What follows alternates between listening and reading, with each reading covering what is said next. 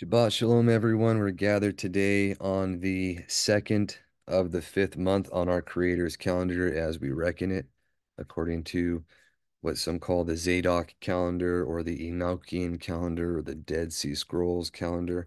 However you want to coin it, it's the information found in what men have considered to be inspired that we're trying to follow to the best of our ability.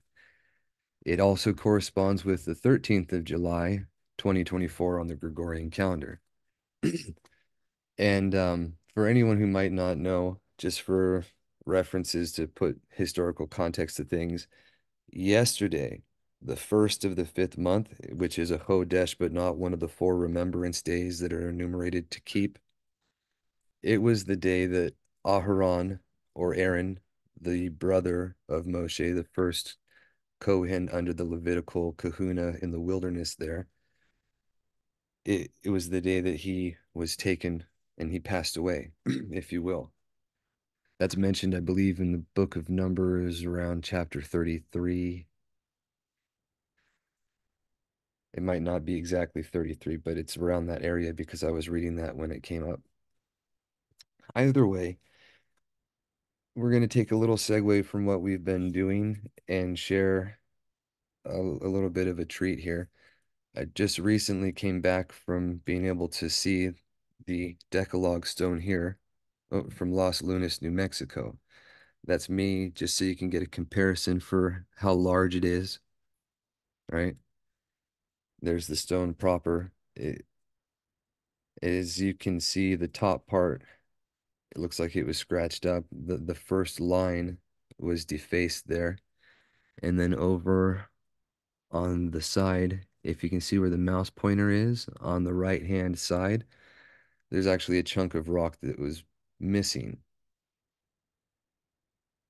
It's been missing since at least 1999. I'll show you the, the picture for that in just a moment. But here you can get an idea for the size. This is Yahi, or and he caught do not cause to be, right? And this is uh, low, what they say for never or don't. But either way, just so you can get a size or a, an idea for the size of some of the writing there.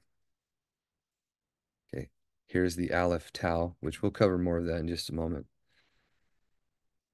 And then right here, you can see this is the, the uh, version of our creator's name, Yahuwah, Yod, Hey, Wahe.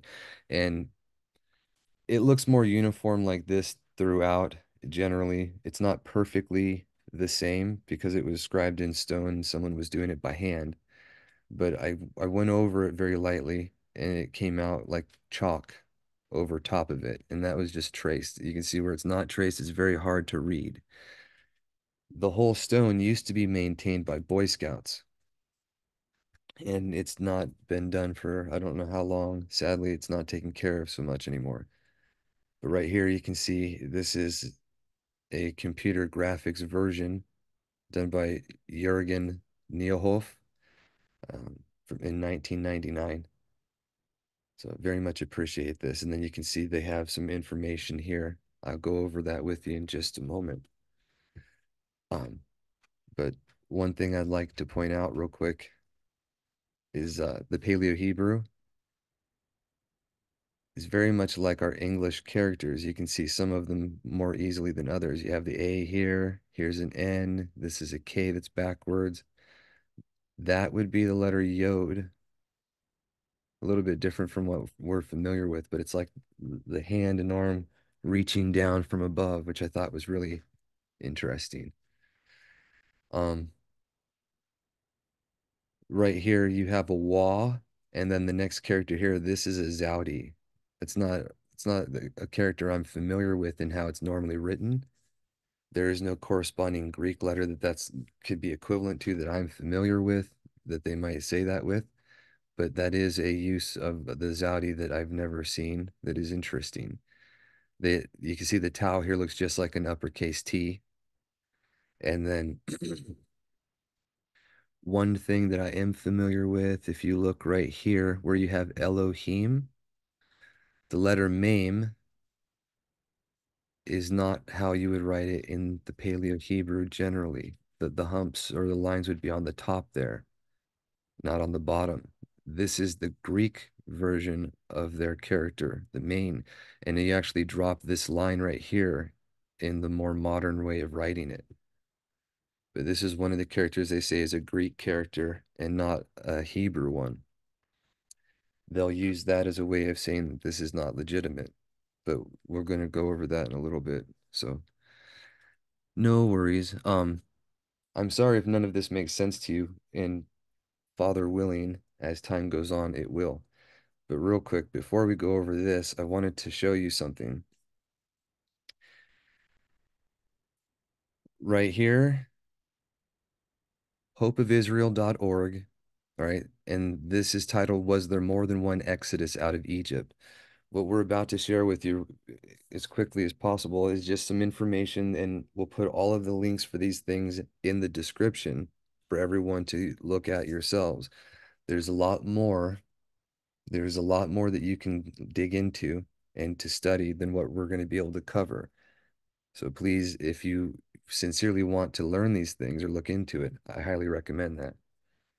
But right here from thehopeofisrael.org, this is a article about the fact that there was more than one exodus out of Egypt. Okay, it's by John D. Kaiser or Keyser. And I'm not going to read the whole thing, but I want to point out to you, excuse me.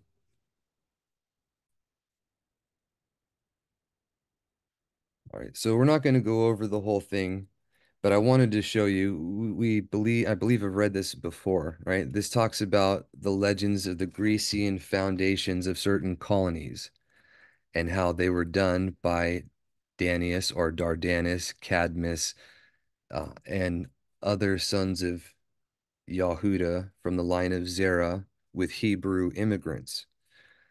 They were people that left before the exodus of Moshe. This is known from secular histories, and it's drawn together from places like Diodorus of Sicily. Diodorus Siculus is another, if it's not the same individual. Herodotus, all right, and then quotes from other places like E. Raymond Capt's missing links discovered in the Assyrian tablets and other things.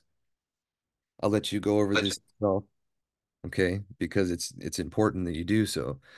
But the point is it will show you that there were Hebrew immigrants or uh, Avrit, Ivri, Avery.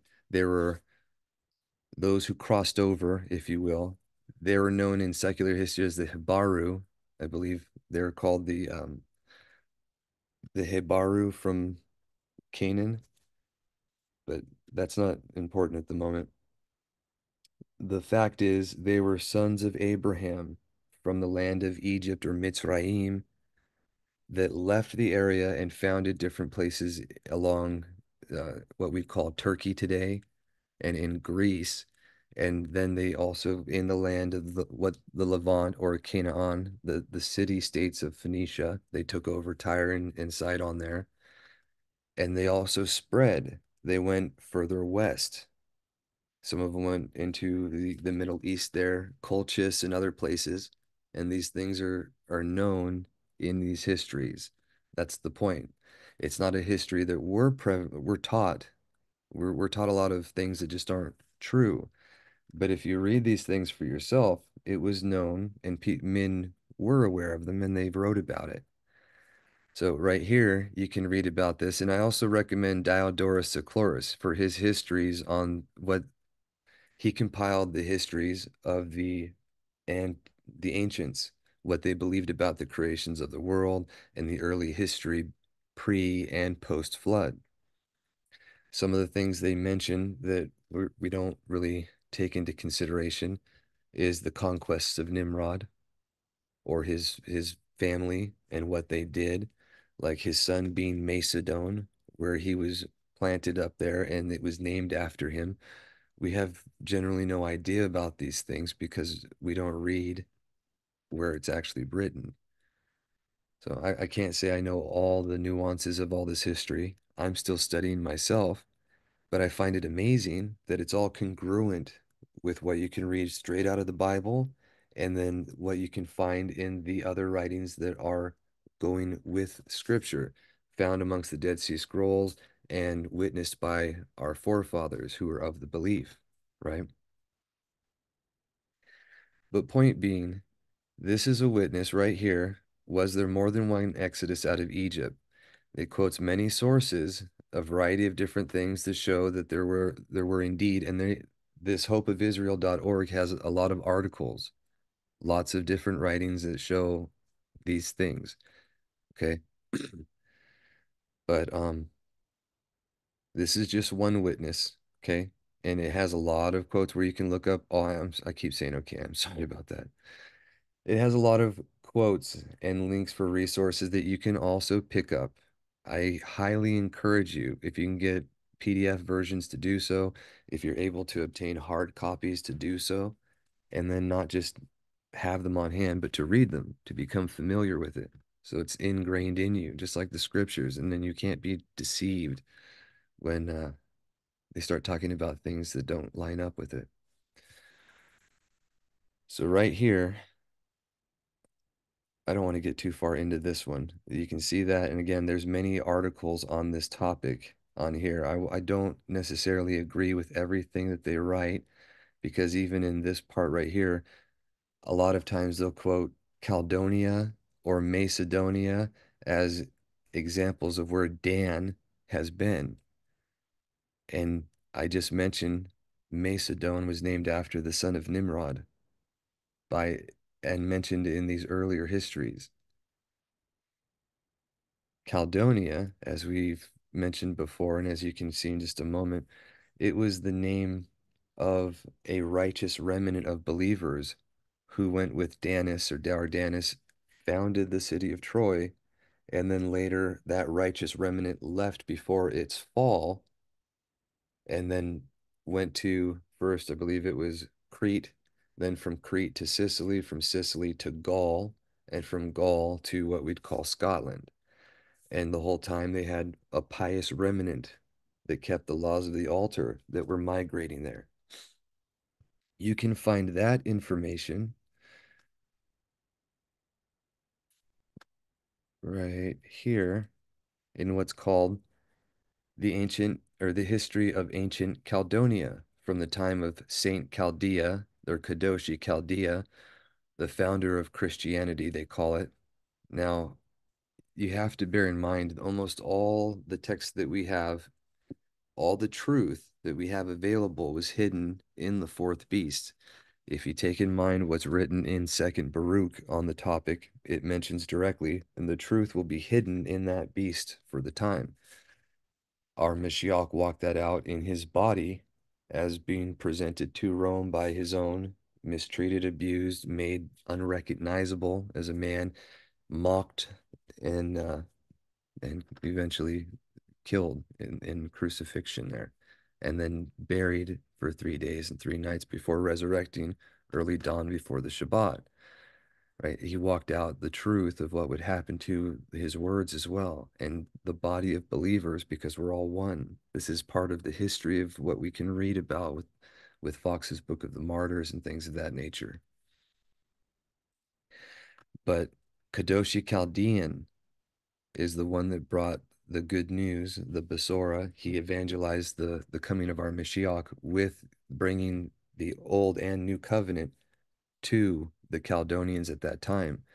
Before then, for over a thousand years, they were keeping what they called the laws of the altar, which, if you read the book of Hanok or Enoch, first Enoch, if you read the testaments of the 12 patriarchs and the, the things that they would have known by the time that they were in Egypt, so that the testament of Levi, possibly the testament of Amram, right? The visions of Amram, sorry and the writings of Noah, they would have known these things. They would have had all of that more fully, including the, the ones from Yaakov, where it mentions in the book of Yobelim that he was literally given all of history of what would happen to him and his descendants throughout time and told to write it down and to give it to his children. So they would have been cognizant of these things, and they had what they called the laws of the altar that they kept. And as they walked piously for over a thousand years, they were kept from they were kept from many problems. But as they turned from the truth given to them, They had problems and they were introduced to our Mashiach through Rome, just like most of us. But the point is, this history, just like all of the scriptures, was hidden for a time. When this was found, it was translated by a Roman Catholic priest. It's right there in the preface. So you might read things here that don't necessarily line up with actual history perfectly, but there's a lot of gold and there's so much in here that's corresponding to other things that you can find evidence that we're going to look at that it's very worthwhile to to look at this and to carefully compare this with actual history to see what has been messed with and what hasn't.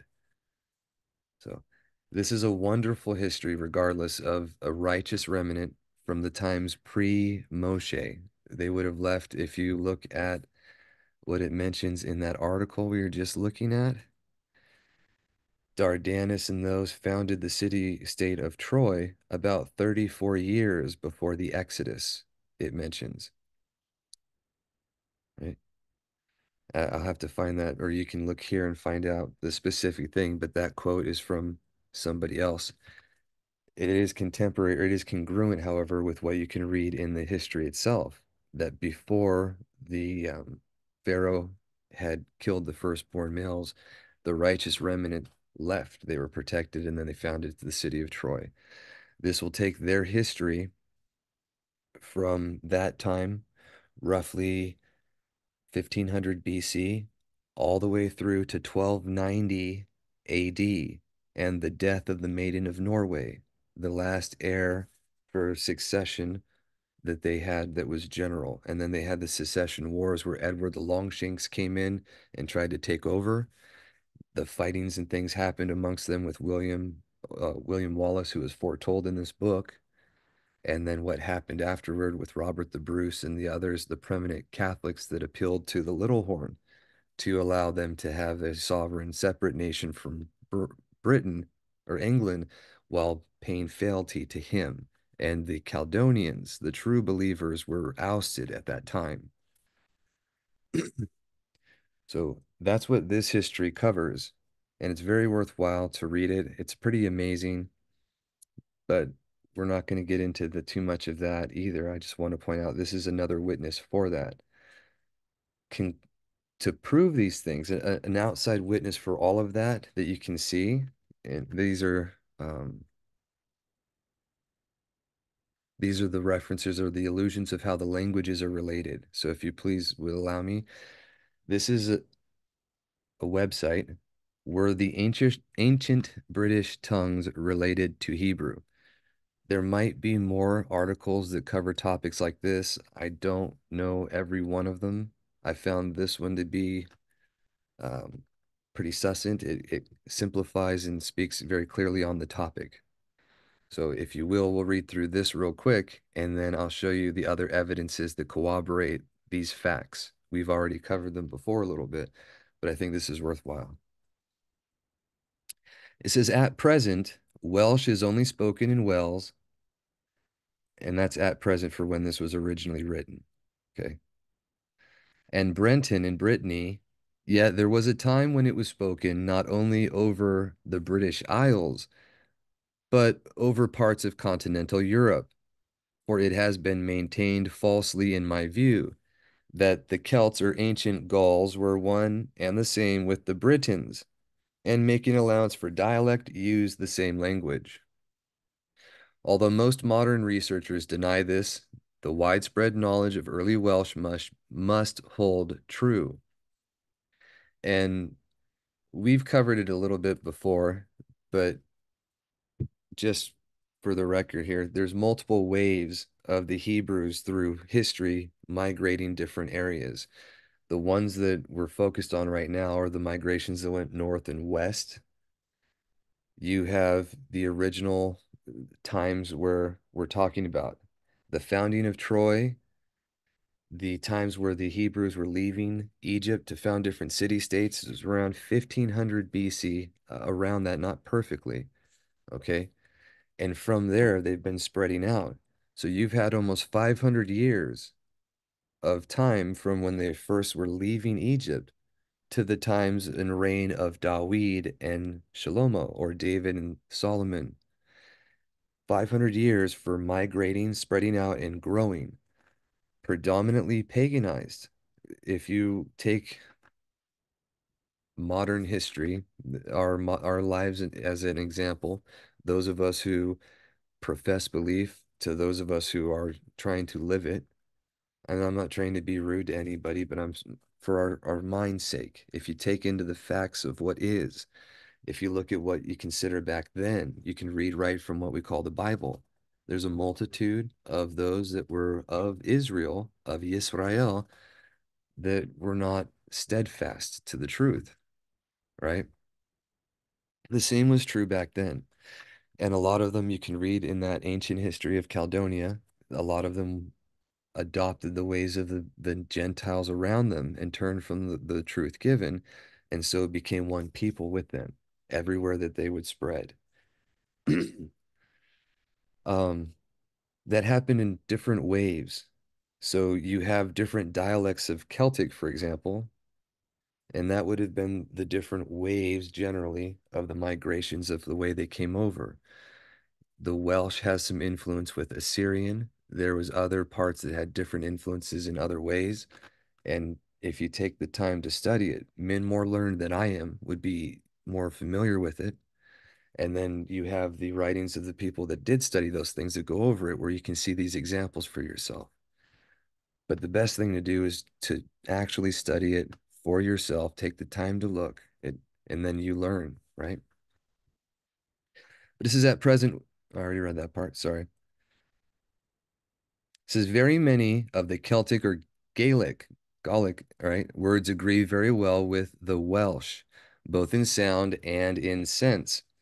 In addition, many of the names of cities, mountains, rivers, etc. in France, anciently Gaul, cannot be accounted for without a knowledge of Welsh. Here are a few examples. Arles, uh, it's Latin arlatum, derived from ar, upon, and laeth, moist, so upon the moist, right? because situated upon moist ground, right? Use ludun. I'm sorry if I'm not pronouncing these right, right? It's derived from uchel, right? The high and din fortified mound, right? And here's another one that's from back or ridge. I can't pronounce these very well, so I'm just I'm going to skip over that, right? The river RR RR, sorry, in France. All right. Arf, araf is slow or soft in the Gaelic. In just a moment, you'll see it's not just Thomas Richards Welsh in English dictionary, but that's one example and where these come from. We're going to get another example or a book that makes it even more clear, uh, the connection between them and gives you many, many examples. This is, was English related to Hebrew? The idiomatic likenesses between English and Hebrew were noticed by Tyndale when he translated the scriptures. He said the properties of the Hebrew tongue agreeth a thousand times more with the English than with the Latin. The manner of speaking is in both one, so that in a thousand places there needs not but to translate the Hebrew word for word and this would have been Tyndale speaking of the English language in the 1300s, where I believe he's also quoted as saying, yeah, there's some 5,000 roots directly related to it, right? And even today, there's a gentleman, I believe our brother Earl's talked about him too, Isaac Mozeson, who's a Yahudi or a Jew, if you will. And he wrote a book called Origin of Speeches and he also has the word dictionary in not only English, but also Japanese and a variety of different languages, where he traces the words in those languages back to the Hebrew or what he calls the Edenic root. I don't agree with his premise, but when you look at what scripture says, it proves the things that are true. And the fact that you can trace the, the Japanese the Indians and all these different languages to Hebrew speaking peoples in their histories. Um, it gives it legitimacy. So I highly recommend looking at those books. Just you have to be mindful that the commentary is not always what I would consider accurate. Says Canon Samuel Lysons found 5,000 roots in the English language. Our British ancestors, and we've read that. Uh, I think that we have one video where we've gone over some of those before from that book, right? Other authorities put the figure still higher. The Welsh is so much like the Hebrew that the same syntax may be used for both. Our Welsh translation of the set apart scriptures seems to have one peculiar advantage of most modern versions, in that the Hebrew idioms, phraseology, or forms of speaking are retained, and that with great propriety too, in the Welsh language. Thomas Richards, Welsh and English Dictionary, 1839. And I believe it was not only the Welsh, but also the Irish is almost word for word translated. The only difference is the sounds, but the way the syntax structure and everything functions is identical. In contrast, the Germanic languages or the other versions of the Hebrew that changed over time lost that sentence structure, but kept a lot of the way the words sounded or the direct word for word meanings of it in its usage, which we'll get to in just a, a little bit here. It says the Old Saxon language is said to be 80% Hebrew. The ancient poem in the Irish language known as the Book of the Dun Cow, 1106 AD, are, quote, not unlike the poetical passages in the Old Testament, unquote. And that's from the Encyclopedia Britannica, 11th edition, Early Irish Myths and Sagas. Yeshayahu or Isaiah 28:11 says, "For with stammering lips and another tongue will he speak to this people." And that's speaking to Ephraim there, right? The Hebrew word for stammering here is leeg, right? Reading right to left, but English reads left to right. So it would be pronounced Gale in English. Gaelic is not only a foundation of the English language, including a lot of our principles of common law, but it is still spoken. And remember, we've gone over that for anyone who might not be familiar. The common law, as codified by Alfred the Great in his dooms or judgments, is what we'd call the Ten Commandments and the right rulings from Exodus chapters 21 through 23, the book of the Epistle of Jacob, some sections from the book of Acts, and other legal jurisprudence from what we'd call the Bible, and then other jurisprudence from what came up in the course of time for the common law of England but that is the foundation of the laws of our, our country and England and Australia. Every common law country is supposed to be under the Bible as its instituted judgment for what is law. but anyways, the uh, the roots for the words and things, a lot of that came from the Gaelic and not the English language because it was already prevalent there and it was adopted by him.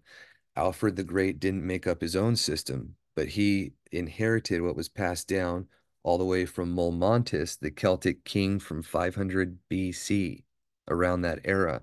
He was the first known to actually have recorded as the common law of England the statutes of what we can read in Exodus verbatim. And that was within 200 years after the fall of er, and the captivity of the northern kingdom by the Assyrians where some of them migrated to the west there, Ephraim in particular, inhabiting what we call Britain.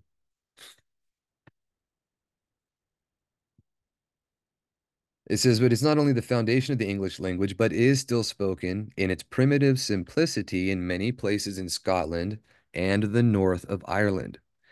Judges or Shephotim 12.6 says the Ephraimites right? The F, Ephraimites, right, had trouble pronouncing the aspirate H, as in shibboleth. In Britain today, the linguistic trait remains, especially with Cockney.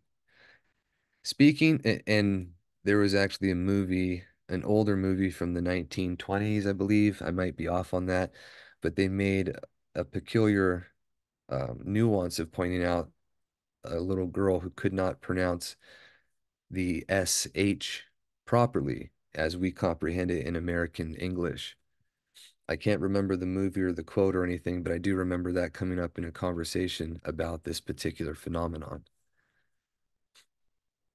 But it says, speaking of the Cymric use of the Hebrew rule of aspiration, Dr. Mayer says, the assuming of the guttural aspiration on the part of the consonant under the influence of the preceding vowel is the kind of change regularly adopted in Irish, whereas in Welsh the vocalization of the mute is now the general rule.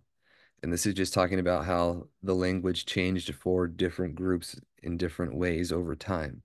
Just like all of us are speaking a living language and it changes and, and adapts in usage over time, colloquially in, in the pockets of wherever you're at, right? It says, it is now unquestionable, however, from the gradual and even now only practical adoption of this rule in Welsh, that the Irish usage is the more ancient of the two, as it is still further prov proved by its striking analogy with that of the Dagesh Lene in Hebrew.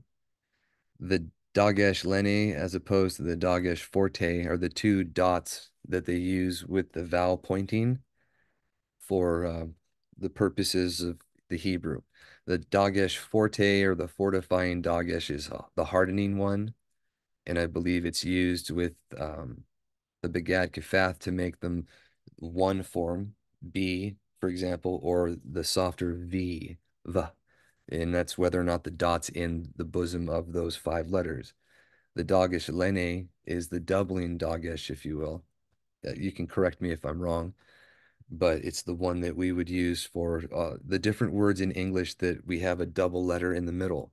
Whenever you would add a pref a prefix letter, like a mem, to a word in Hebrew, quite often that next word or that next letter would be doubled. So it would close the consonant of that first one and it would start the next. The Messiah, for example, in Hebrew is Ham Mashiach, right? Ham Mashiach. You just say it all as one, but you would double the hey there. they do that with a lot of words. In English, there you see like Sibboleth, little, middle, swimming, puddle, running. We, we do it all the time as a natural phenomenon in English. We just don't have a, a rule or a necessity. It's a it's a carryover from the Hebrew. if you ever look into the 1886 Webster's Dictionary and you read through the history of the English language, you can see the effects of the, the changing of the language over time. And if you keep in mind where it came from here, it's an amazing thing to look at. Webster himself acknowledged that there was people who connected the Hebrew and English, but he did not promote just willy-nilly doing that himself. And you can read it, what he had in his own words in that text there. But to continue here, it says Davidson's Hebrew grammar says the word dagesh is from a root which possibly expressed the idea of hardness. The sign of dagesh is a point in the bosom of a letter, and this point was used to indicate both a lighter and a heavier kind of hardness. When it indicates a lighter hardness, it is called Dagesh Lene. When the stronger, it is called Dagesh Forte. Right. And this is in regard to the vowel pointing in what they call the Masoretic text. It's the Hebrew that we have available from the Stones Tanakh and from the Westminster's Codex and mostly everything outside of what is from the Dead Sea Scrolls. there's different varieties of them, the history of how they got the vowel points and which ones they decided to use because there are a few different um, types of pointing that they have. There, it wasn't all uniform all at once is my point. If you want to get into more information on that, you can look at Dr. Bill Barrick's Hebrew Grammar, the 503 from the master Seminary that's free online. He doesn't go into great detail, but he covers generally the history behind that, a little bit of how they have the influences of Aramaic originally, and then that kind of filtered out to the pure Hebrew, and then it went on to change, which agrees completely with what you can read from the book of Yobelim, where Abram and everyone had the Hebrew or the Yahudith language taken from them at the Tower of Babel. But when our forefather repented and he prayed to be delivered from evil spirits, evil ruachot, he was given the language of creation and he was given the writings of his forefathers and he was told to transcribe them and then he studied them. And that was how he was to be delivered from evil spirits through knowledge of the truth by given by the word. Something and by going back to the original language of creation here, right? But back on point, it says you can take any sentence in Hebrew and change it into Gaelic word for word without altering the order of a single word or letter. And you will have the correct Gaelic idiom in every case. That's what I meant. The only thing that changed really was the sounds. The sounds of the words and how they were pronounced changed. It, it's gone over a little bit in the books that we're going to look at here, but you'll have to look at them yourself to know for sure. How it changed and why is covered in a little bit of detail there, or more than I can cover now. But I, I highly encourage you, especially people who know Gaelic, if you're familiar with that language, if you're familiar with Greek, especially the ancient Greek, or if you're familiar with Latin, this is very useful because this stuff can be proven you can test it for yourself and you'll know more more surely than someone who doesn't speak those languages. He says you cannot do that with any other language in Europe. Hebrew has a rule. Hebrew has a rule which is known as aspiration, which applies to certain consonants when they follow a vowel. It means the same consonant has two different sounds according to its position. And those are the Begad Kafath letters. If I'm if I'm uh, on the right track there, there's only five of them that do that, and Begad Kafath is an acronym for Bet Gimel Dalet Pei Kaf and Tau. It says Gaelic has the same rule and applies it in exactly the same way. Even words borrowed from other languages are at once modified in sound according to the Hebrew rule of aspiration. Does any other language use this rule? I don't know of any. Ancient Media or Madai, where the 10 tribes were taken captive, is where the language of Sanskrit was developed.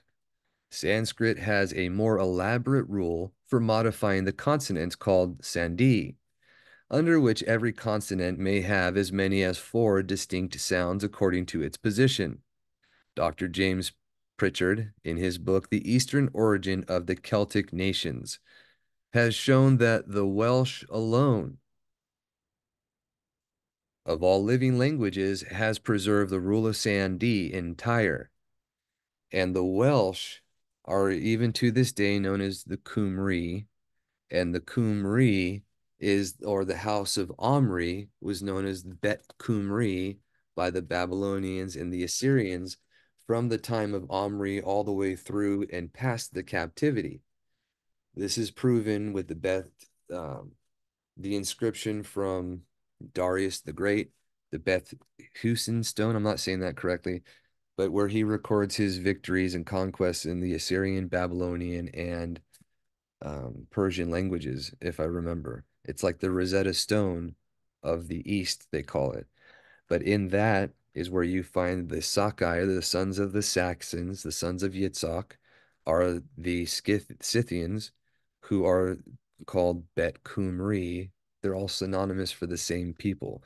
And those Cumri are the Sumerians of antiquity that spread throughout Europe and went over into the British Isles. They went north and became intermixed with the Germanic people, and then they went back into Turkey, into Galatia. And this is known history, but it's not prevalently taught to us today. However, you can see the Welsh alone retain the influences of, of the Sanskrit sentence structure because they're the ones that took it out and then brought it of the Celtic speaking slash Hebrews, right? As opposed to the Irish, which never had that. The Irish left beforehand of the tribes of Dan. If you remember, or if you're not familiar, during the times of Deborah and Barak in the book of Judges, in the victory that they had against their enemies, Deborah singing, she mentions that Dan's off in his ships. It mentions, I believe, in Yeshayahu, or, or it could be in a different place, that Dan and Yawin were off doing mercantile work together, or the Greeks, if you will, were Dani and the have the the native children of Yawin that intermixed and became one people. So it's collaborating witnesses to that, but they never had the influences of the sandhi, and you can see that their language does not do that. The Bet Cumri, the house of Omri of the sons of Ephraim, the royal clan, if you will, that were taken into captivity, they generally did have that influence and they brought it with them, but they were they left beforehand. They didn't stay in that area long enough to lose the language the way that the others did that we'll read about in just a minute. So, and that we've also already covered before. But oh, I'm sorry about that.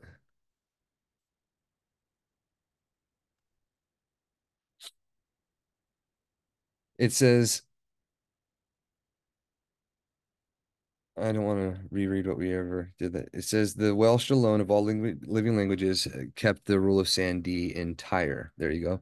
He proves from this and many other similarities, including words in such common use as the whole paradigm of the verb to be, that the ancestors of the Welsh must have lived among the people who spoke Sanskrit. These people were in Madai. He also shows that Gothic is the link between ancient Sanskrit and modern Teutonic. And the Gothic languages are what all the Germanic came from, the Germanic being what we're going to cover here in just a moment, but it was the influences of the Sanskrit on the Hebrew for a longer period that caused the Gothic. And if you recall, we mentioned that the Eastern migrations here, are the ones that stayed in captivity in the Middle East there, they lost the usage of the syntax structure of the Hebrew, but they retained the, the wording better than the Celtic version. And they went through two different sound shifts. One of them, oh, here, let me finish this real quick, and then we'll cover that because we've read it a little bit. We've talked about it before, but then we'll we'll go into that that relation there. Okay. It says the grammatical structure of Welsh and Hebrew is the same. The verb, for instance, occupies the same place in the sentence of both languages. The roots of most Welsh words may be traced to Hebrew. Not only do Welsh words themselves indicate a similarity, their variations and inflections afford a much stronger proof of affinity, which the other books that I'm going to show you go over in more detail. It doesn't just mention it like this, but it shows you the examples, I believe, in some of them. Okay, and this is the um, the Hebrew has verb tenses. There's five different verb tenses that changes the vowel sounds for each word and how they're used. I'm not as familiar with this as I would like to be. I'm still learning. Okay, so anyone that might know better, please correct me if I'm wrong. But in the way that it changes for the verb tense, it changed the how, the pronunciation of the vowel sounds. It's very fluid in that way. When they went into the east there. When they were taken into captivity they lost that usage and it was locked into one sound pattern for all of these words. And it's what terry Blodgett calls the first sound shift amongst the germanic speaking peoples that happened around uh, what they say 500 bc and the one around 500 ad was the second one. But the the second germanic sound shift was only local to uh, Europe and just a, a, part of that. It became known as the High German sound shift, and it's what High German speaking today is so different. But if you compare Yiddish and that High German, it's an identical, just the Yiddish used the Hebrew characters and the High German uses the rune font Latin adopted letters that they'd had. Otherwise, it's almost the identical language because it's the same when the Yahudim were taken out of the land by Hadrian in 130 and they spread out and they were migrating different places when they the ones that came back from Babylon and that were there with our Mashiach and then were taken out and spread they brought with them the Chaldean influences of how the language was spoken. They'd say B'nai Brass or B'nai instead of B'nai Brit for example with the S's instead of T's and they had other phenomenon of that that they carried with them and that caused the sound shifts for what we call high german. That is the second one um, that they cover. And we'll go ahead and show you now just for the record that is found sorry about that. That is found in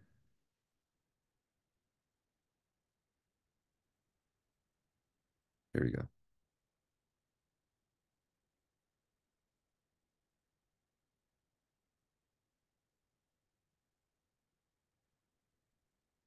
Here we go. Sorry about that. That is found in the phonological similarities in Germanic and Hebrew by Terry Blodgett, Terry Marvin Blodgett.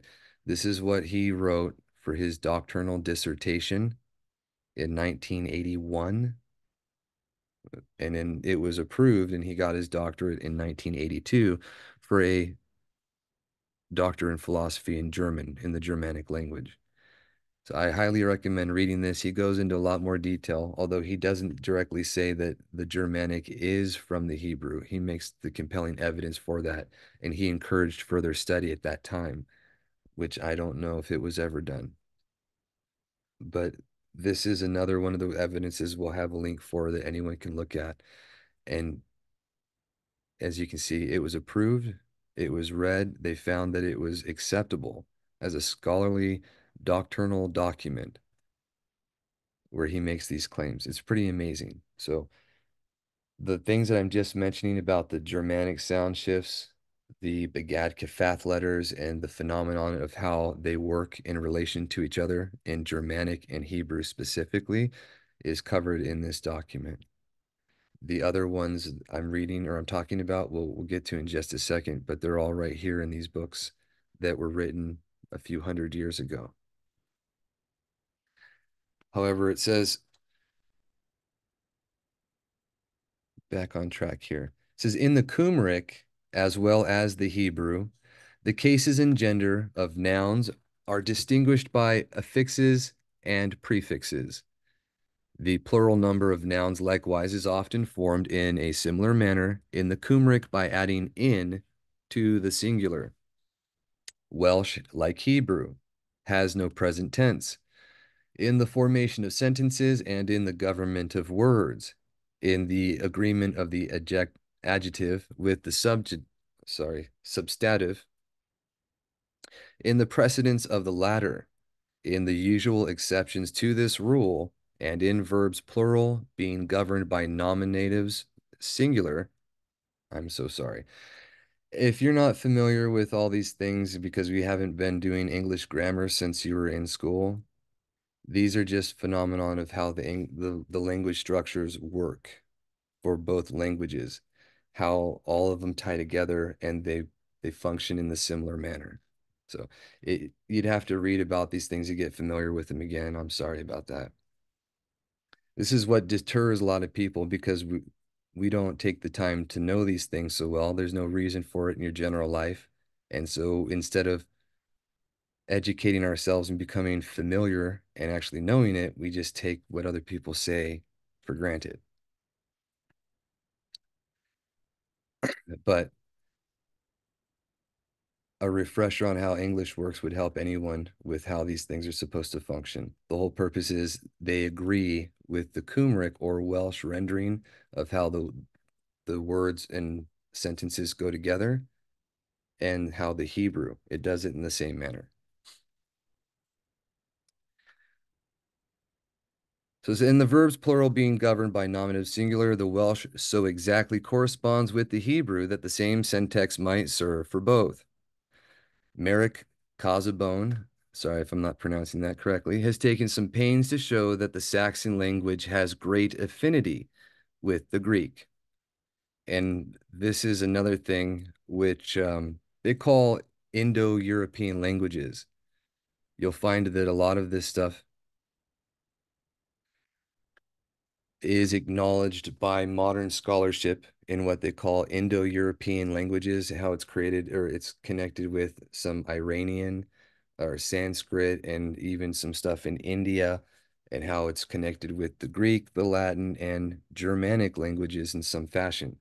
So these things are acknowledged by that capacity, but the connection being Hebrew is never talked about. That element is what is perverted or hidden, and it's done intentionally. Because if we know who we are and where we came from, we take his word a little more seriously. Says all our modern unabridged dictionaries are inadequate with regard to the origin or etymology of old English words not derived from Greek or Latin. And Terry Blodgett mentions there's a wholly two thirds of the Germanic languages that are of unknown origin, and he traces all, all of those words back to Hebrew. all of them in his dissertation. There's a lot more work that could be done to prove that out, and gentlemen like Isaac Mozeson have done that in the word dictionary. It's an amazing reference. I think there's over 20,000 English words he traces back to Hebrew. The reason why that's possible, because there's not even 20,000 words in the original scriptural Hebrew language, period. But in English, we take a word like Yobel, where we get the word Jubilee, and then we have a whole bunch of derivatives from it, jubilant, jubilation, etc., etc. So you can take that one word and have a divergence of many, and that's why there's so many that we can trace back. But point being, there's other men that have given lots of information that corroborate this stuff, but the the tie-in, excuse me, the tie-in of the history of our people and the migrations and how it changed, that is all muddied up. So, Father willing, we'll see that there is a connection here, and the whole point will tie us back to the Decalogue stone in just a moment, right? This is very much of the Greek and Latin and other European languages can be derived from Hebrew. So the question becomes did even those English words that are similar to Greek and Latin come from them or their predecessor Hebrew? These European languages are quite young compared with the Old Hebrew. This is pages 67 to 72 of L's Covenant Man, British Israel by Edward Odlum, and he gives many English roots from the Hebrew. This is the language of the learned bards, in which their poetry was composed, was Hebrew.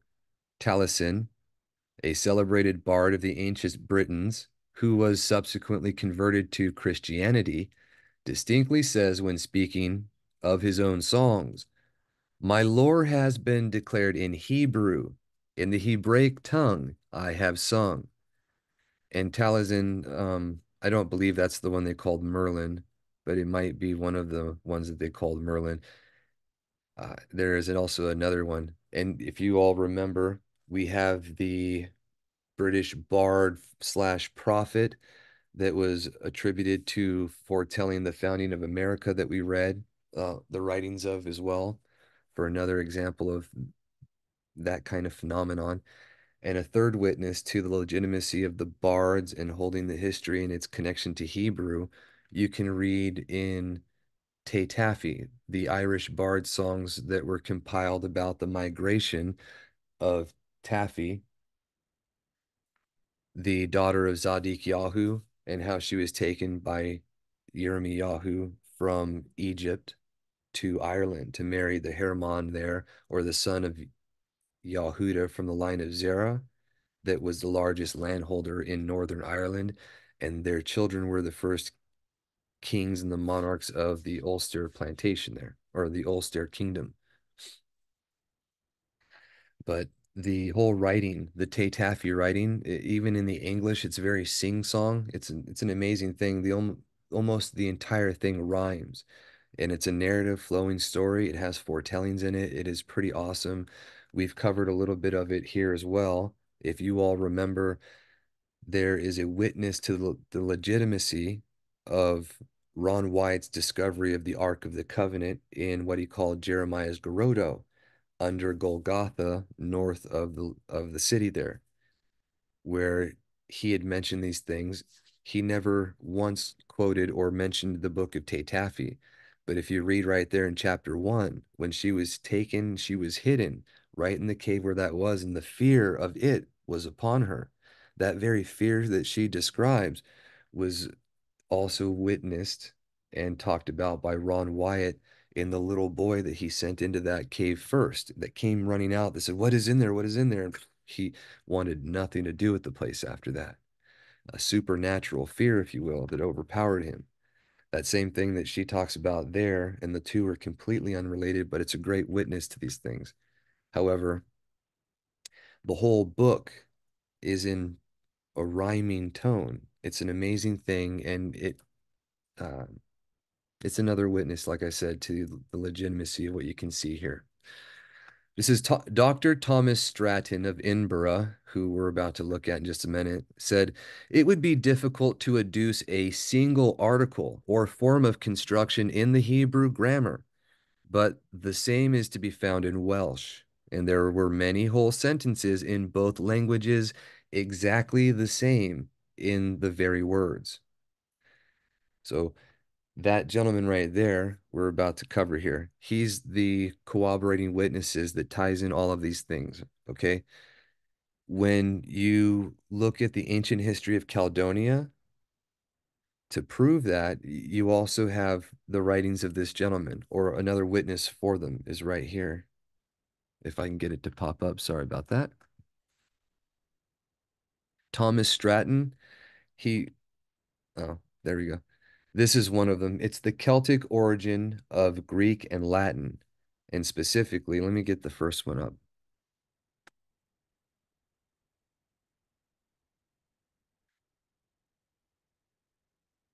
It's not going to do that. Just a moment. I'm sorry.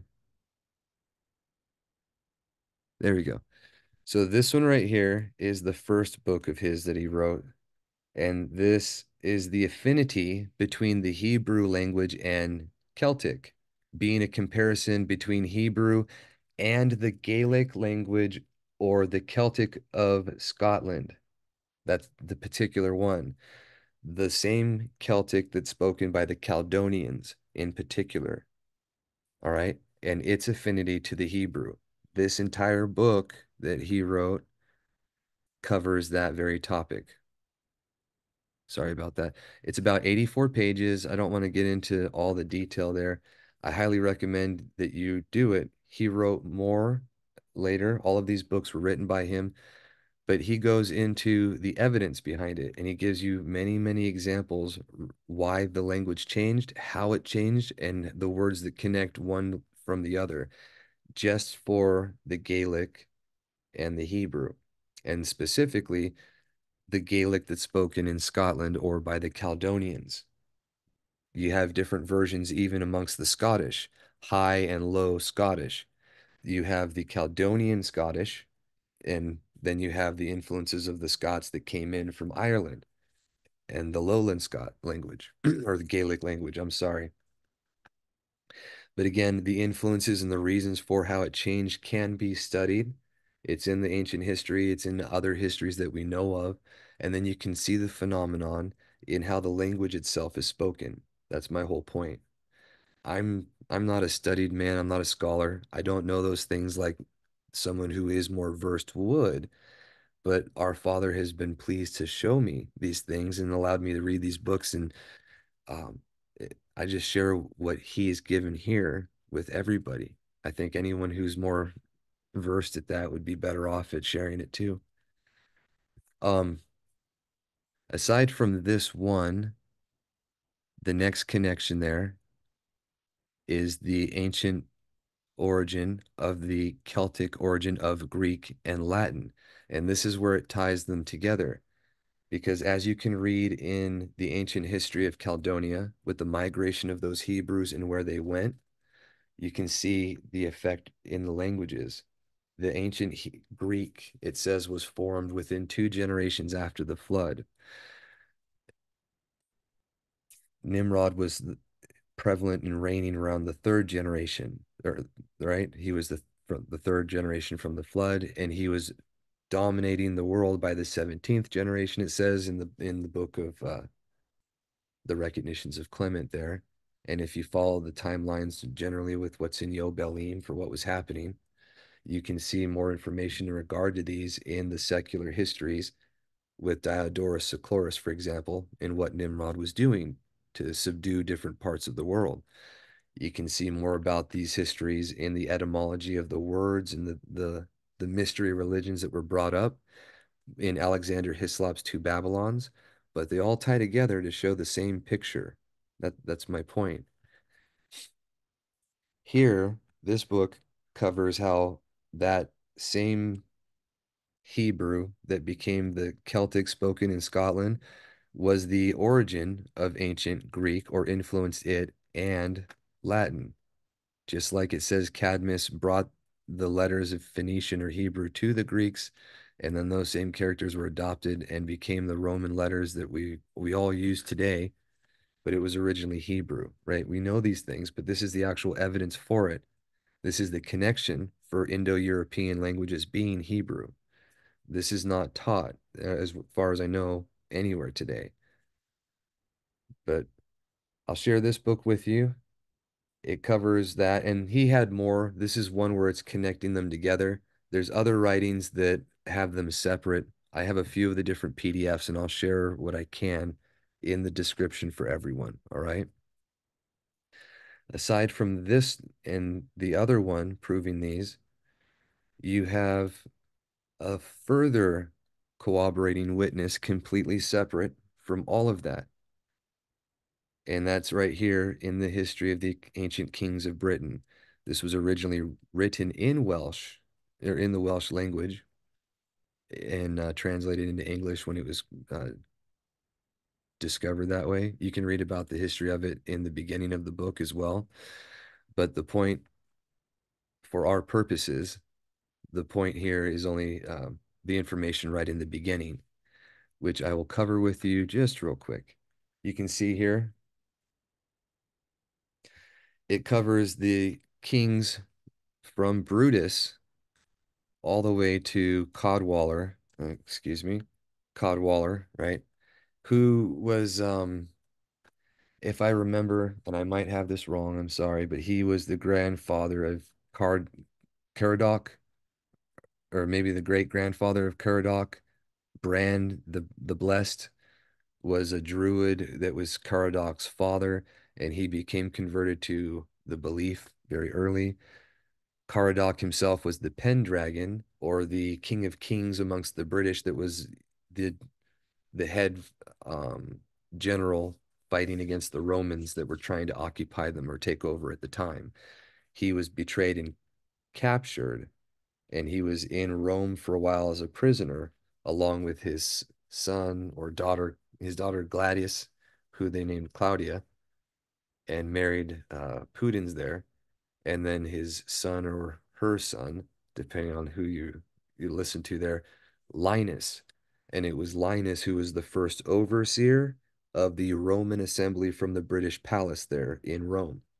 Just for connection on all these things, he was the one that was anointed by Shaul, as mentioned in the apostolic constitutions. and they're from the sons of Zerah, as we're about to see here. So this is the other witness that corroborates these things real quick. So I'd like to share that with you. As far as I'm aware, they were not, no one that wrote the ancient history was aware of this or was aware of the affinity of the languages and corroborated together. This is these are different writings that came down in different ways that all happen to have corroborating information, which helps to you know prove its truth, at least to my mind.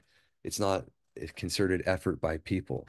Although he could have done it that way, as the scripture says, he does not need man to witness of him, right? He knows the minds of all men, and he himself will make himself available to those who are worthy, as you can see plainly in his walk in ministry. This is the Chronicles of the Kings of Britain, Book the First, History of Brutus. After the destruction of Troy, Aeneas Whiteshield and his son Ascanius, whose mother was Crucia, and I'm sorry if I'm butchering these, right? Crisa, the daughter of Priam, king of the Trojans, right? The daughter of Priam, who was the last king at the fall of Troy, as related in the Iliad and the Odyssey, the secular Greek histories that cover this topic. Although they're more written like sagas or stories, they generally are supposed to be about these events. When you compare what's in that to the version in the ancient history of Caledonia, it's a little bit of a discrepancy. But I'll let you, you know, be the judge of that for yourselves. It says, The daughter of Priam, the king of the Trojans, fled by sea to Italy with a fleet of eight and twenty ships, accompanied by people of either sex and all ages, to the number of 88,000. This is 88,000 Trojans that escaped the fall of Troy that were not part of the righteous remnant, who was about a 100 people, just for a contrast there. So these are 88,000 paganized Hebrews keeping the mystery religion, Babylonian garbage of some type, right? They mixture contrary to the laws of the altar that caused them to be subjected to problems. That was why Troy fell, as you can read in the history there. And if you remember, the scripture says that a city founded in blood won't have a, a good end. You can see the a brother against brother and all these things that are talked about in the very founding of the beginnings of Rome and the mixing of these people. You can see why, as it was foretold in the book of Tatafi, our Mashiach chose to go through the Romans to have them appointed to be a watch in the night, right? and then it was elucidated even more clearly by the four beast empires and then what that fourth beast is and all that is in scripture. It's just not in what we'd call the bible. Back on track here. It says latinus who was at that time king having decried the strangers or descried the strangers dispatched a messenger to ascertain who and what they were. Latinus, being satisfied with the reply, at once consented that they might land and purchase necessaries conditionally, that no ill usage should be offered to the inhabitants. Latinus then invited Aeneas, and I'm sorry if I'm not pronouncing that right, and a few of his friends to an entertainment at his castle. And it was here that Aeneas saw Lavinia, the daughter of Latinus whose beauty was allowed to be unrivaled, and which so captivated Aeneas that he solicited from her father the honor of making her his wife in dower. Upon Aeneas being informed that Lavinia was the betrothed of Turnus, king of the Rutulians, he requested that Latinus would permit the affair to be settled between Turnus and himself to which Latinus, who was favorably disposed towards Aeneas, willingly consented. So he coveted another man's wife, is what happened. Turnus, hearing what had passed, at once commenced hostilities between or against Latinus, who soon found a ready auxiliary in Aeneas. When the two armies were in sight of each other, Turnus sent a challenge to Aeneas to decide the contest in single combat, as they alone were immediately concerned, and Lavinia espoused the conqueror. Aeneas accepted the challenge with great joy, and they fought till their spears were shivered or shriveled to atoms, their swords broken at the hilts, and it then became a contest of body to body. But as Elohim is the arbiter of events, there is no victory without his will. There is no deliverance in anyone else, right? He is the deliverer of all men, especially of those who believe. right? The outcome of every successful issue is by his purview and providence. That's the kind of hum humility that we have to have if we want to be true to the word. Says Aeneas slew Turnus, received the pledges of allegiance from the army of Turnus, seized himself of his estates, and married Lavinia. For five years, Latinus and Aeneas reigned conjointly. When, the former dying, Aeneas succeeded to the whole sovereignty, a son of Yahuda being over the reign as foretold. Right, you can find this information in the common scriptures the Baraka of kingship promised to Abraham, Yitzhak, Jacob, and then given to Yahuda in the course of time.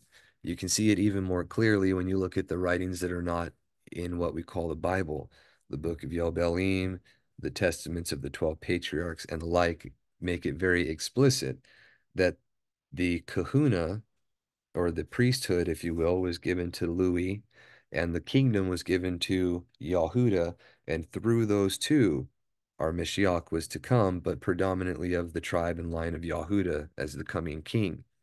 And it's even it's even foretold in their births if you realize what day like Yahuda was born on the very same day as Yitzhak, who was the promised seed, born on the third on the 15th of the third month, right? The same time every covenant was made.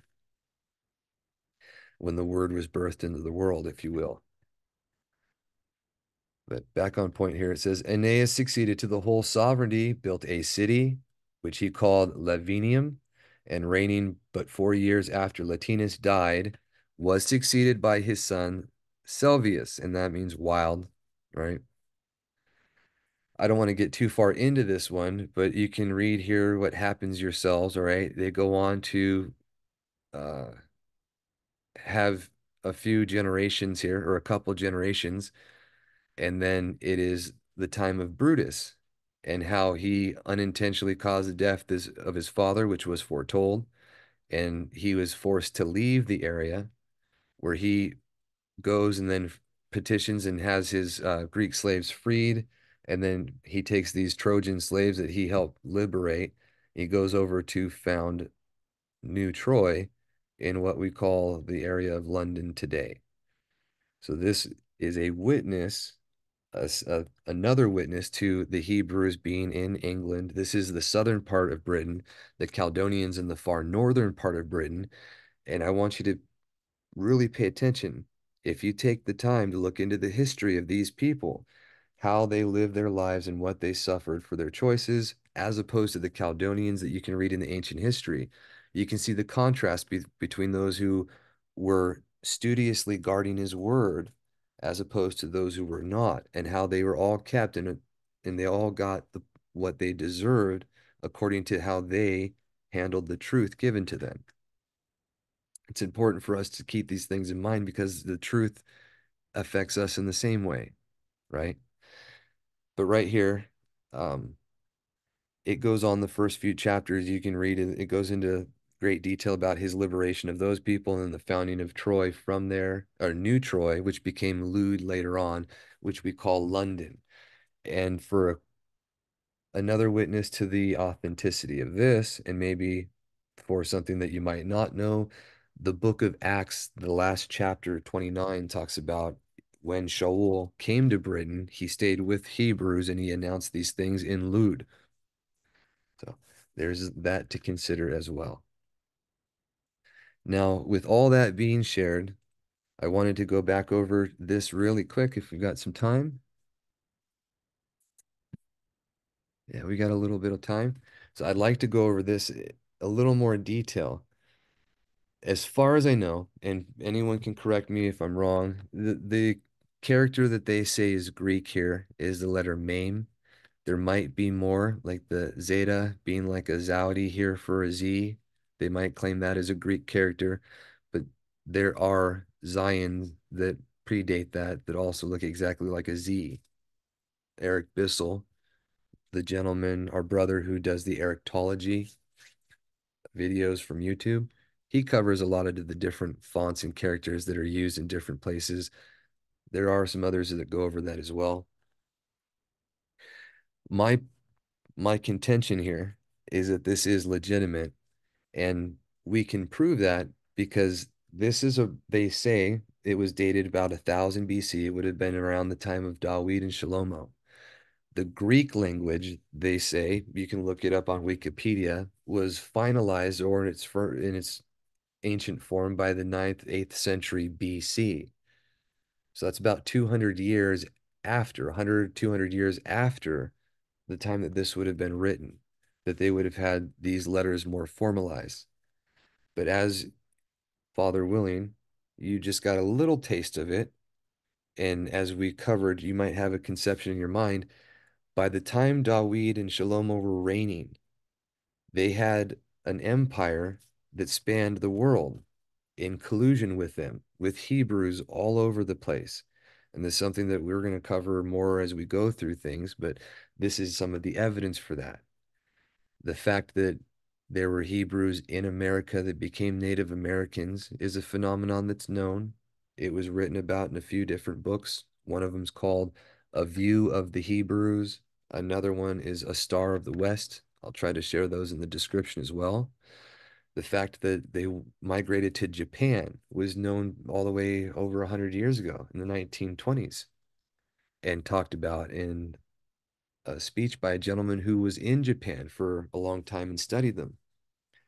These things are might not be as prevalent anymore, and the reasons for them we can talk about some other time. But my point is that you have evidence of Hebrews being spread east, west, north, south, and it's all over. So I'm not trying to discredit any of those things. We've also covered the fact that Buddhism was a foundation of a Hebrew, of someone from the northern cap, uh, northern kingdom in captivity, who was commemorating the fact that they did not have the sacred fire to make offerings with anymore. And the budai the Buddhists, if you will, are those that are exiled or separated. But um, in that information, I believe it's called The Saxons of the East and the West. It's The Lost Tribes, the Saxons of the East and the West is the title of the book there. I will share that as well. It covers the influences of the Hebrew in India, where the language was not using Hebrew characters at all. But when you take the the Sanskrit or the language that was written there and you transliterate it or you transcribe it literally, you just put the Hebrew characters instead of the ones that are there, then you can read it and it makes sense. And the gentleman went through all these inscriptions all over India where the beginnings of Buddhism was and found out it was all Hebrew that was just written in a different font. but he connect he ties in the connection of the Northern Kingdom and its migration, it part of it being in India, the foundings of Buddhism, how Buddhism spread all the way to the British Isles and all the way to the Far East, and the evidence of the migrations of the people there still being of them. So it's really amazing. Um, my point is, here's another one, the letter Kof. Some of these letters, it might be more than that, they, they don't represent what people or scholars consider to be real Hebrew. That doesn't make it illegitimate. And it's because of the information I just shared with you. You had Hebrews all over the world, literally during the, the 1000 BC, during the reign of Shalomo. They were making three year pilgrimages, circumnavigating the world, if you will, collecting things and doing trade, and then coming back and you find Hebrew inscriptions all over North and South America. The, the words for things, uh, especially in South America, Brazil is Brazil is iron, Peru is fruitful. You got a whole bunch of that stuff there. You have things in the Isles of Hawaii. There's even evidence of lands that we are not aware of in the world that have nations of people who speak a broken German that is Hebrew there was a gentleman who got stranded in Europe in the 1800s that, that spoke a broken Germanic language that came from a kingdom of Saka from some place that no one had ever heard of that had a, a fantastic story. And he had been shipwrecked trying to find his brother. But we don't know about these things. And I, I can't really remember. It was in a an interesting video I'd seen from a man who was not a believer that was talking about that. And I didn't really get the connections of, of that at first but much later all these pieces started coming together and i realized what that was These are people, these are Hebrew ancestors that had been dispersed that lost track of one another. After the fall of the United Kingdom, if you will, there was a loss of contact. They kind of broke off and became their own. The Indians became separate in North and South America, eventually, even more division and spread into paganism. You can look into the histories and you can see that stuff for yourself. Um, Barry Fell, a gentleman who is decried as a, a hoax and someone who wasn't very um, good at being an amateur archaeologist, if you will. He discovered a lot of these writings a lot of things in America. He wrote a few books, Saga America, Bronze Age America, and the like. There's others that have pointed these things out, but there's temples of Baal from the East Coast to the Grand Canyon. There might be even more in South America, but the paganism that was prevalent that came about afterwards was also carried over in different ways in different places. So when you look at these and take it all in, not trying to make our own, like, not trying to prove things for ourselves, but just taking this information and seeing what is, the picture becomes clear that the things that you can see in history and in in the scriptures literally happened. Where you don't have a direct reference in the Bible of these migrations, they're talked about like it's a thing that happened. Cadamus, Calcol, Dard, uh, Dardanus, they're mentioned in the times of Shalomo as Shalomo being wiser than them, but they preceded him by a little bit, right? You have the um the, sorry about that. You have the examples of the Greeks and the Danites working together mentioned in scripture, but not elucidated in detail elsewhere. You find those things in the secular writings, is my point. So, real quick, before we have to break off here, I would like to go over this just so everyone can see. The pictures aren't as clear on the rock as I would have liked them to be. This is something that was done, and I did go over it word for word. I looked at every single thing I could, I traced it, and this is as accurate as I can determine. The only thing that is missing, and it covers it right here, you can see the normal spelling of the Hebrew has is without the hey character or my face, pene. You have pay, hey, noon, yod. That could be a spelling variant. That could have been the original way it was done.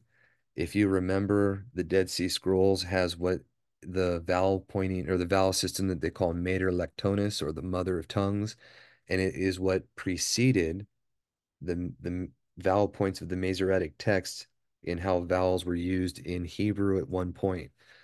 Phoenician, generally, the inscriptions of the Moabite stone and other places don't use that, but in the writings of the Dead Sea Scrolls, it was used. It's easier to write three letter root words that you can just read and get the context for on stone than it is making longer ones. I can see why that might have been done. And here's an example where you have that prevalent too. Lo is just Lamed Aleph without the Wa. And that's consistent, I believe, with the Phoenician of the time. Although later on they would have the Wa, and then the Wa would be replaced by a Holam, which is a dot after the Lamed there. But either way, if you'll permit, we'll just read this real quick. This is Anoki or I am. It's like my plumb line. Yahuwah Elohika. And again, the, the wa here is not included.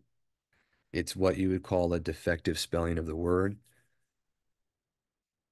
This is I am Yahuwah, your Elohim, Elohika. Asher Hazu is, is who has taken, and this is like to expel you or to export you, right? Atika, who has taken Aleph Tal you, right? Me'eretz from the land of Mitzrayim. And this part, just so you know, right here and this Aleph are missing.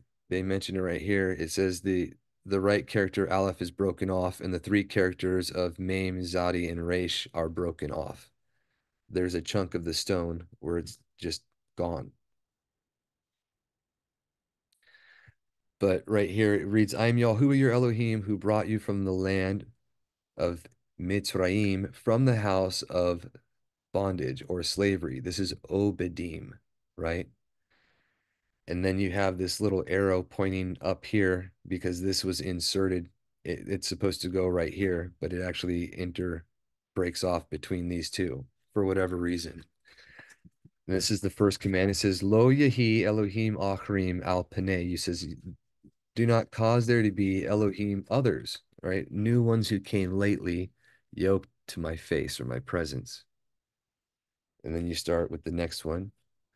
It says, no, or you shall not make the oseh here, like ma ma'asah from the book of Acts with a tau or a tav in front of it, which makes it past tense. Never make for yourself an idol, right? Tamal. This is never take, that's the um, NASA, if you will, to lift up, bear, and carry, but with the past tense, with the tau in front of it. So never lift up, aleph tau, eth, the shem of Yahuwah, lashav or lashua, right? Unto vanity, not falsehood, fabrication, or ruin. This is zakor eth yam, right? So remember zakar like Zachary, right? Zakar aleph tal's yam ha Shabbat, the Sabbath, la kadoshu, to keep him set apart. This is kabod at um, this is honor, right? Like kavod or kabod, aleph tal, abika, your father, wa eth amka, your mother. And this is so that, right? Araknu, this is arakon, sorry, like to be long or continue for a long time, so that long yamin or yamika, right? Your days upon the ground, ha'adama, right? That Yahuwah Elohika, your Elohim, Yatan, like Nathan with a yod instead of the noon there, which he has given lek unto you. This right here is another thing that I find to be convincing. People might say that this is a Christian interpolation because it's mentioning a part of the commandment that you can't find in Exodus, but it's mentioned in the epistles by Shaul. And if you take him at his word, he was quoting verbatim. You can see that this is exactly the same thing that he quoted and said, and that's the first command with promise. And I find it interesting that of all the commands, you can see they're abbreviated. But this one gets the detail of honor your father and your mother so that will be long your days upon the ground that Yahuwah your Elohim has given to you. That's the command with promise that's enumerated, right? I I don't honestly know if, if this is the fuller version is in the Samaritan Pentateuch, if it was found in the writings of the Dead Sea Scrolls. I I'd have to look into that. But the next one is low, right? You never commit adultery. Oh, I'm sorry, right here. It says you never murder. You never commit adultery. Tal Nun Aleph Pay, right? You never steal. And right here, this is a gimel. If you turn that around the other way and you kind of straighten that out, that's the gamma from the Greek. So these are very similar in character to what would have been in a few hundred years the Greek language that would have been adopted by it, right? The more you look back at that, the ancient, and it's covered in that book in detail, but you can also find the fonts. The ancient Greek is identical to the Phoenician. It was just written the other way, right to left.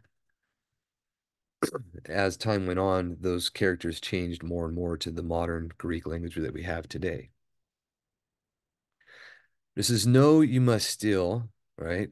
Never or no, give testimony, right? In or against your neighbor, a witness that is false. So you don't give false testimony to your neighbor. And this word right here, shakar, that's where we get a, a, word for sucker in English, as far as I'm aware. If you're a sucker, it's about because you got hoodwinked, right? It was false information that you believed.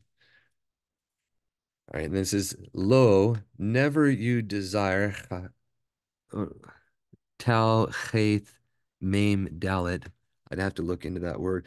But it says, never you desire the wife, a shot of your neighbor, and all a share unto your neighbor. So you don't desire your the wife of your neighbor or anything that belongs to your neighbor, right? Encapsulating that 10th commandment there. If anyone wants to be studious, we've actually covered the full version of what you can read as far as we're aware that was originally in the Book of the Covenant. You can find in the Dead Sea Scrolls, in the Samaritan Pentateuch, when you compare these versions. But the interaction between our Mashiach, who was on the top of the mountain speaking, giving the commandments, and then interacting with them, and they said, Oh, we don't want to hear his voice, lest we die. Um, all of that is missing from the Masoretic text.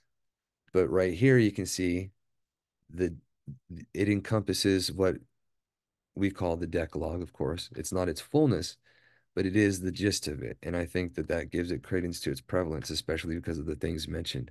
However, I leave it up for everyone else to look at and decide. I highly encourage you all to look at this information, to see these things, and perhaps then you'll see this in a different light and take it a little more seriously, where his word was written in stone for our generations for so long ago.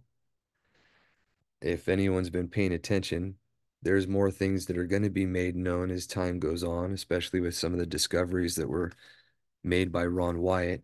A lot of that has been revealed, and some of it will be in the time to come. I really look forward to those times, and I hope uh, I hope you're all there with me. Until then, you have a wonderful Shabbat, a great Shavua Tov ahead, a great week, and we'll see you next time. All right? Shalom.